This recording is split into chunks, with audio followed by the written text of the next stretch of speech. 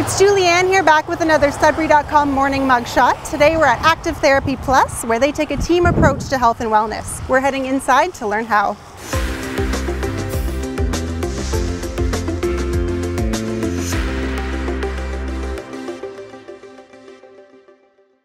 We're warming up with Kim Brouzes, athletic therapist and owner of Active Therapy Plus. Hello, Kim. Hello, good morning, everybody. Tell us, what is athletic therapy? Athletic therapy is similar to other healthcare providers in the sense that we do uh, an assessment, we do rehab, we do treatments, we do prevention and, and, and, education.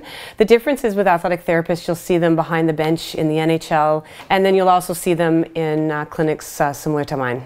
And no matter what the injury is, is Correct. the solution ever a simple one step process? No, there's four stages to healing, and there's a lot we can do in a supplement, there's a lot we can do with nutrition, and there's a lot we can do in house in terms of therapy and, and rehab. Beyond treating the injury or condition as a single issue, you're mm -hmm. looking at each patient as a whole interconnected. Yeah, and that's and that's why when we're talking about the the stages of healing, we try to influence each stage individually because there are so many variables from lifestyle to sleep hygiene to hydration to stress. And now with the legalization of marijuana, the chem chemistry of the bodies are different. So um, treating it as a whole is, is important because we just don't know what variables exist.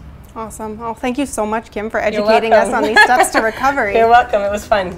And stay tuned, Sudbury. We'll be back with another morning mugshot.